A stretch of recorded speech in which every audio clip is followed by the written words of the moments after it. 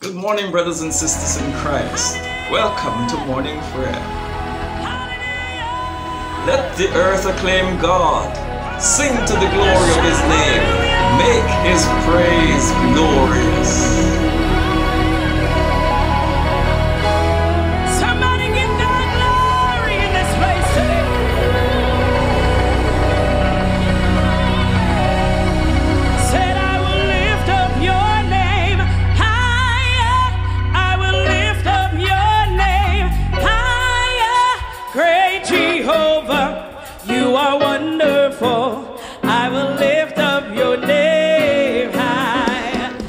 God, by whose grace we're yet alive. And blessed be his Son, Jesus Christ, by whose rising we're set free. And blessed be the Spirit of God, in whom is our hope and our joy. Yes,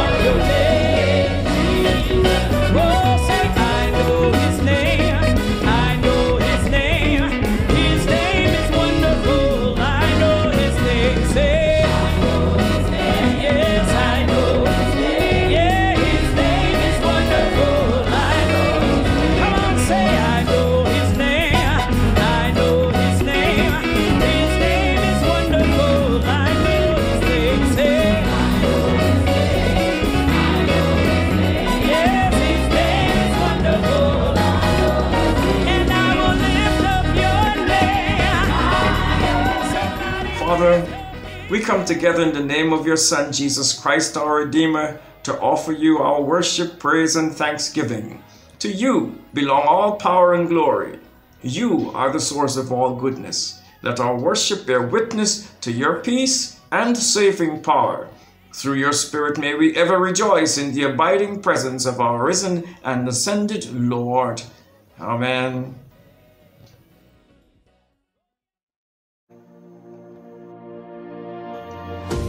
The Jubilate. O shout to the Lord in triumph, all the earth. Serve the Lord with gladness and come before his face with songs of joy.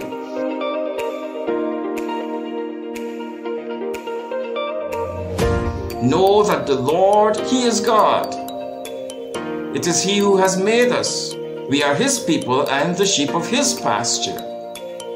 Come into his gates with thanksgiving. Come into his courts with praise. Give thanks unto him and bless his holy name. For the Lord is good, his loving mercy is forever, his faithfulness throughout all generations. Glory to the Father, and to the Son, and to the Holy Spirit, as it was in the beginning, is now, and shall be forever.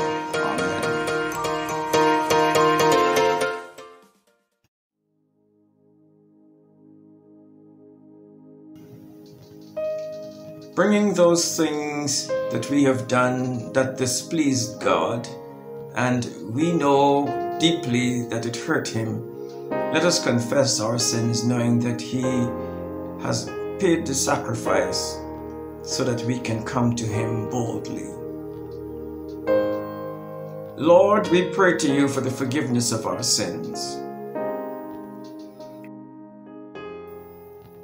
Have mercy upon us, most merciful Father.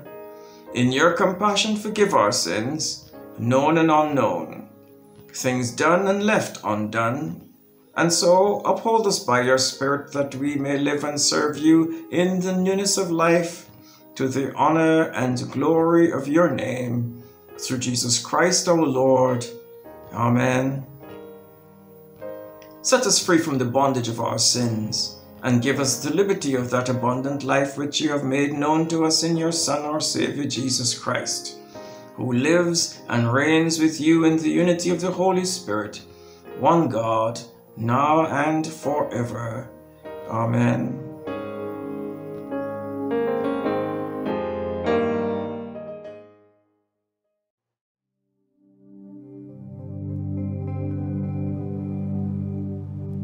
Psalm 25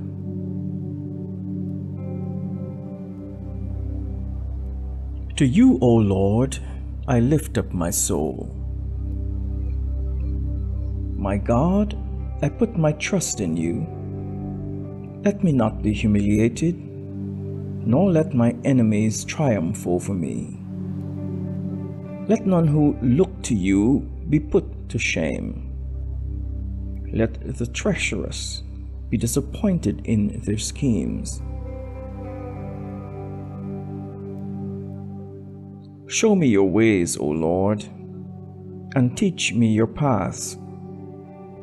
Lead me in your truth, and teach me. For you are the God of my salvation. In you I have trusted all the day long. Remember, O Lord, your compassion and love, for they are from everlasting. Remember not the sins of my youth and my transgressions. Remember me according to your love and for the sake of your goodness, O Lord.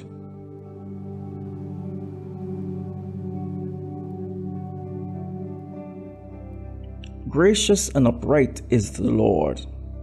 And therefore, he teaches sinners in his way. He guides the humble in doing right and teaches his way to the lowly. All the paths of the Lord are love and faithfulness for those who keep his covenant and his testimonies. For your name's sake, O Lord, forgive my sin, for it is great. Who are they who fear the Lord? He will teach them the way that they should choose. They shall dwell in prosperity, and their offspring shall inherit the land. The Lord is a friend to those who fear him, and will show them his covenant. My eyes are ever looking to the Lord, for he shall pluck my feet out of the net. Turn to me and have pity on me for I am left alone and in misery. The sorrows of my heart have increased. Bring me out of my troubles. Look upon my adversity and misery, and forgive me all my sin. Look upon my enemies, for they are many, and they bear violent hatred against me. Protect my life and deliver me let me not be put to shame, for I have trusted in you. Let integrity and uprightness preserve me, for my hope has been in you. Deliver Israel, O God, out of all his troubles. Glory to the Father, and to the Son, and to the Holy Spirit, as it was in the beginning, is now, and shall be forever. Amen.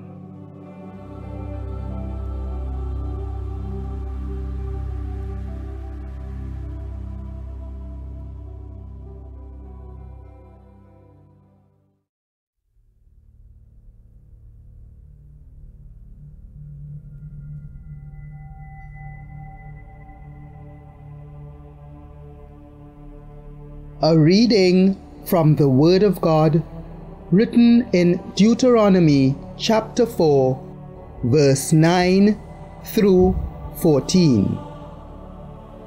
Moses commands obedience. But take care and watch yourselves closely, so as neither to forget the things that your eyes have seen, nor to let them slip from your mind all the days of your life. Make them known to your children and your children's children.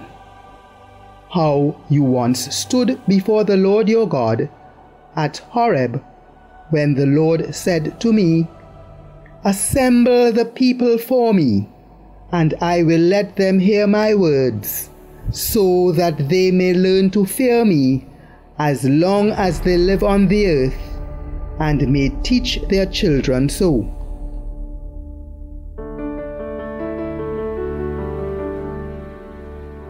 You approached and stood at the foot of the mountain, while the mountain was blazing up to the very heavens, shrouded in dark clouds. Then the Lord spoke to you out of the fire. You heard the sound of words, but saw no form. There was only a voice. He declared to you his covenant, which he charged you to observe, that is, the Ten Commandments. And he wrote them on two stone tablets.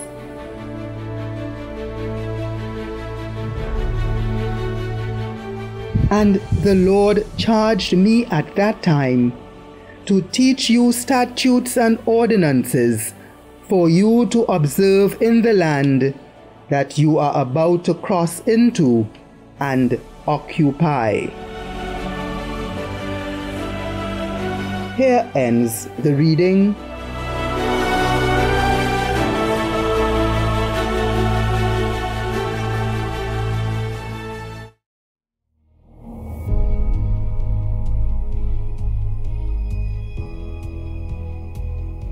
The Song of Moses.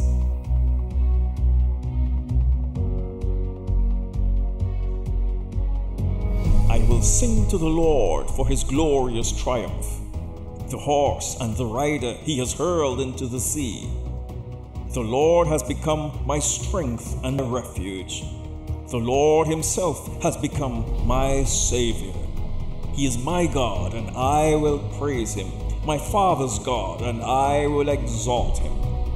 The Lord himself is a mighty warrior. The Lord, the Lord is his name.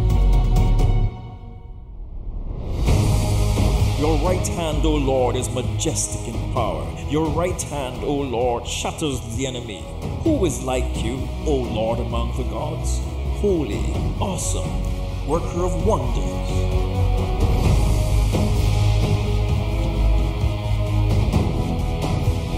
In steadfast love, you led your people.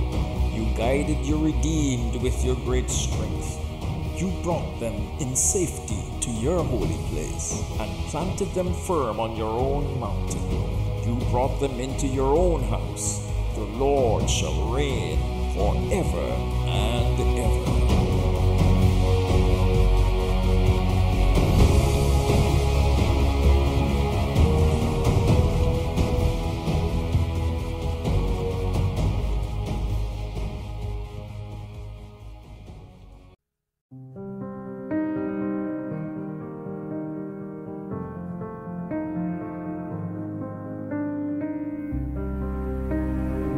Reading from the book of Luke, chapter 14, beginning at verse 25 through verse 35.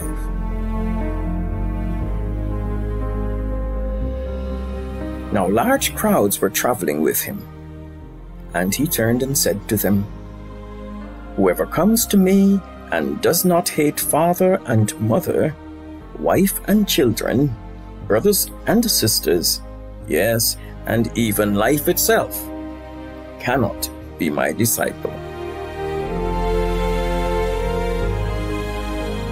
Whoever does not carry the cross and follow me cannot be my disciple. For which of you intending to build a tower does not first sit down and estimate the cost to see whether he has enough to complete it?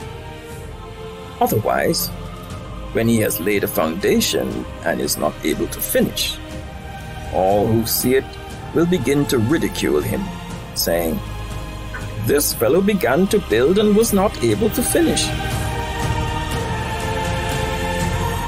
Or what king, going out to wage war against another king, will not sit down first and consider whether he is able with 10,000 to oppose the one who comes against him with 20,000.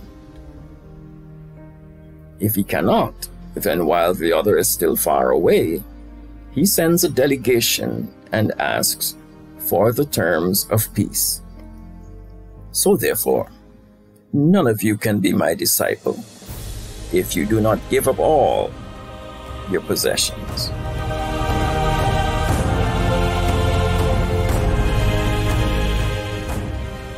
Salt is good, but if salt has lost its taste, how can its saltiness be restored? It is fit neither for the soil nor for the manure pile. They throw it away. Let anyone with ears to hear listen.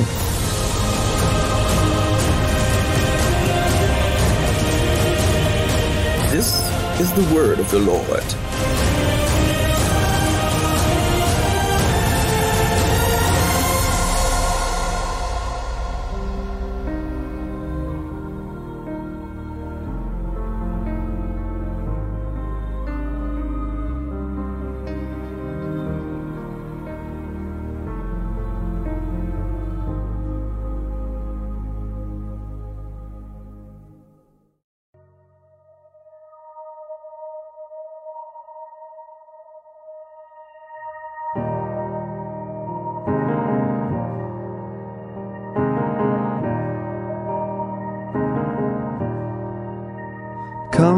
Fount of every blessing, tune my heart to sing thy grace. Streams of mercy never ceasing, call for songs of loudest praise. Teach me some melodious sonnet sung by flaming tongues above. Praise the mount, I'm fixed upon it, mount of thy redeeming love.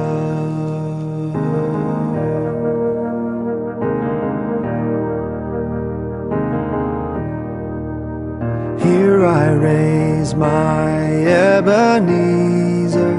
Here by thy great help I've come. And I hope by thy good pleasure safely to arrive at home. Jesus sought me when a stranger, wandering from the fold of God. He to rescue me from danger interposed his precious blood.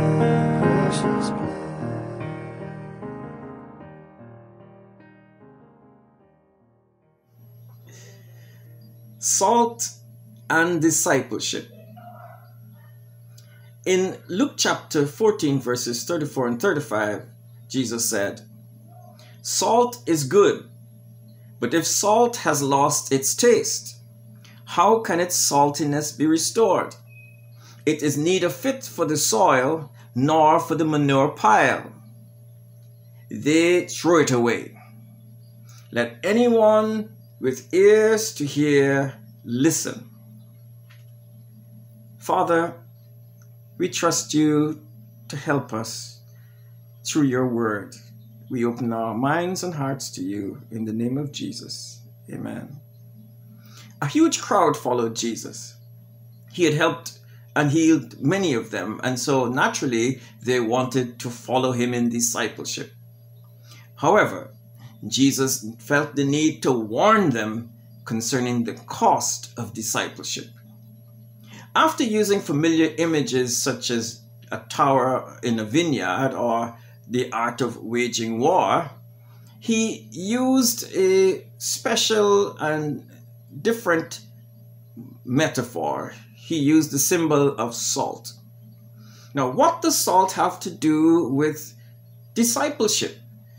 And, and so, what we want to do is to explore this metaphor so that we will understand deeply what Jesus feels about those who must follow him.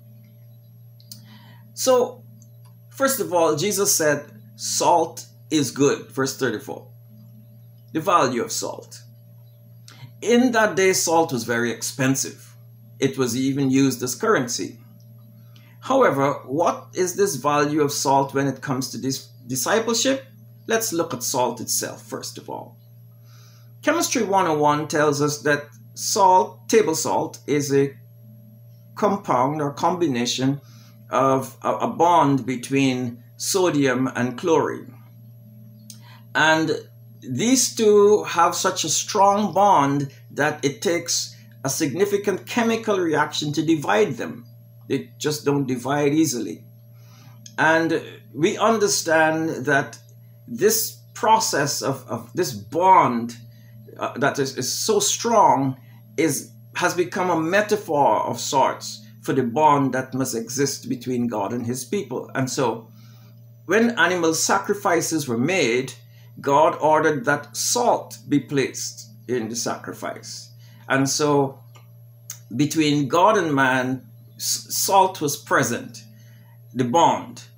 Uh, significantly so, after that time, the people talked about a covenant of salt and so salt was present whenever people have contracts or covenant, and salt was used to ratify those contracts. Uh, salt was also used at the table when people are having a meal. If someone shares a meal with you, you are obligated to look after that person's interests thereafter because the presence of salt was there both in the food and at the table.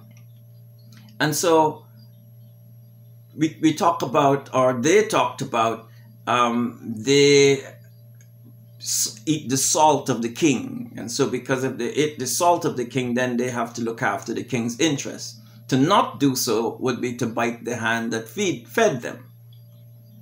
And so here we have salt as an overall preservative, both preserving relationships and preserving food. And so this image of preservation is associated with salt. And, and therefore, Jesus is saying salt is good. It's good when there's a bond. It's good when people can come together and agree.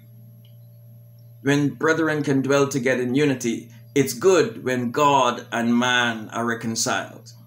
Salt is good. Jesus is saying, nothing should come between them and between him and his disciples. Jesus is saying this is a spiritual union, union, a happy marriage that no one should separate or can separate. It is a contract between Christ or covenant between Christ and the disciple in which Christ or God is the provider. And so we have uh, no choice but to look after his interests. We are obligated by this sharing to act only in the interest of the one who provides. I eat the salt of the king, the king of kings. Having looked at the value of salt, let's look at salt now as it relates to discipleship. And we can now look at what makes salt void. Jesus says, if salt lose if salt has lost its savor or its saltiness or its taste.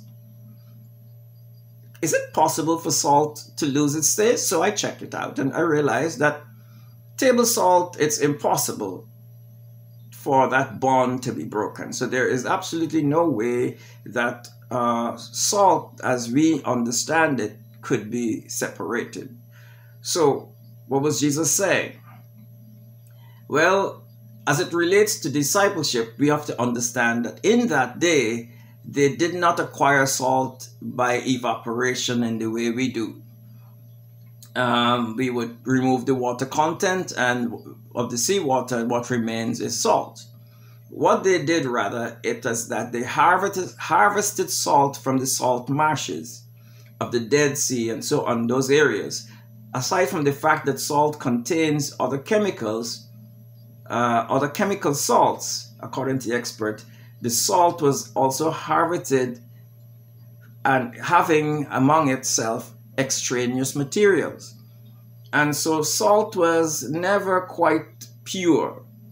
in that sense.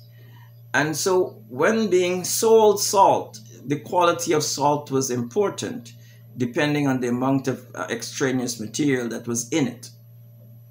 And so, the only way, basically, what, what, what Jesus was saying, that the only way that salt could be could lose its taste or its savor is by dilution. So you, if you have far more extraneous uh, salt, salty kind of materials, salt resembling things, and and sand and whatever inside of the salt, then the salt is not high quality.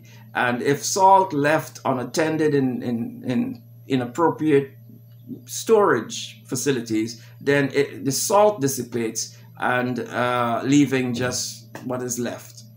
And so Jesus said, if salt loses its savor, then what they do is that they throw it out. No, they cannot throw it on the soil. So it said it can't be used as manure. And it cannot be used even uh, uh, to help grow things. It's not the kind of salt, it's not the kind of soil that is worthwhile for growth. So, in other words, salt is only creates living, it only supports life when it's, it's in supporting of relationships. But when salt has to, you know, is in, in, unable to support relationships, that salt has to be thrown out. And they throw it on roads so that, you know, to help the chariots not skid, but it cannot be thrown anywhere where anything grows. So salt then becomes quite the opposite to what it should be doing when it comes to relationships. Relationships are life, it feeds relationships. So, Jesus is saying in this particular context to us that in relationship to discipleship, we must not allow anything to come between Christ and us. We must not allow anything to diffuse our relationship, to dissolve it, and to weaken it. And Jesus suggested that there are three things that can weaken our relationship as disciples with Him. First is other people, our other significant relationships. He says, verse 26 Whoever comes to me and does not hate father and mother, wife and children, brothers and sisters, cannot be my disciple. Now, we must hate father and mother. Now, that's a strong word. Now, aside from the fact that it was um, a rhetorical device, it was not uh, an exaggeration because the people who you do not support their style of living or their ways or their philosophies or their thinking, they will tell themselves that you are their enemy. And they, in today's world, they've already picked out terms like uh, that end with phobia for you and so on. They, they have terms for you immediately already created. So when you don't support their views or their ways or the, of living and operation, they package you and they say you're the person who hate them, and so the relationship um, is is divided. So that's why Jesus said, "I didn't come to bring peace, but a sword." So that's where the um, the rift starts to happen. So other people who you love can get in the way of the relationship if there's a competition between them and God. Jesus is saying, I must have no competition. There must be a single bond between us that no one can separate. The second thing that can get in the way is our own life, our personal self. So, our other people and personal self. Our own lives. Verse 26 and 27 says, Whoever comes to me and does not hate even life itself cannot be my disciple. Whoever does not carry the cross and follow me cannot be my disciple. Our ego can get in the way of a successful relationship between us and our God. You cannot use your arms to protect yourself and at the same time use your arms to hug someone. Your arms can't be occupied in two different ways. So while you're defensive, while you're protecting yourself, you have closed yourself off from your capacity to love. And so Jesus is saying, you have to die to self. Love has a vulnerable strength. And the cross is a very, very, very perfect example of the vulnerability and the strength of love, dying for us while we were yet sinners and saving us because he knew that he laid down his life and he can take it up again. They can't take away anything from him that is already his. And so the third thing, besides other people getting in the way and even your own ego itself getting in the way, and according to bishop, egos and she goes, possessions. Jesus said in verse 33 None of you can become my disciple if you do not give up all your possessions. So, all the things that we hold dear can stand in the way of our discipleship. St. Francis of Assisi felt the need to give up all his status and all his possessions in a time when debauchery was high. And he felt that that was the only way that he can be an example of a perfect disciple. Now, God may not require that of us in terms of giving up our status and our possessions in, in actual, but he might.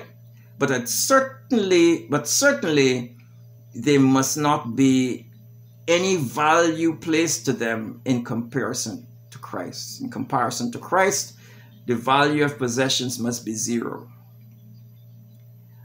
Our possessions means our statuses, our self image, and such things. We cannot cling to it. We can never cling to, to our self image and our egos and, our, and the things that we use to prop, prop up ourselves while we hold on to the idea that we are Christ's disciples. We must die to self. We must take up our cross. So, disciples of Jesus Christ, couple of questions we need to ask ourselves. Are we holding on to anything that hinders our relationship with Christ? Do our significant relationships rob us of our resolution to totally serve Christ? Do we try to follow Christ yet look back with longing for the life of worldly lust we lived? Do we attempt to love others and serve Christ at the same time on our own terms rather than the kind of selfless life that Christ lived? Do we live a sacrificial life of love and service? Do we passionately cling to our worldly possessions in such a way that it, rather than Christ, defines our identity? Friends, these are the things that we must consider if we're going to claim to be Christ's disciples or if we desire to be a follower of Christ. Father, in the name of Jesus, we thank you for your message to our hearts and our souls. And this challenge, dear God, is a very high challenge. We pray that in your strength and in your spirit that we be able to keep it, to live it, to not feel robbed by it, but to find a bond with you that is closer than any bond, because in you we have everything. In the name of Jesus. Amen.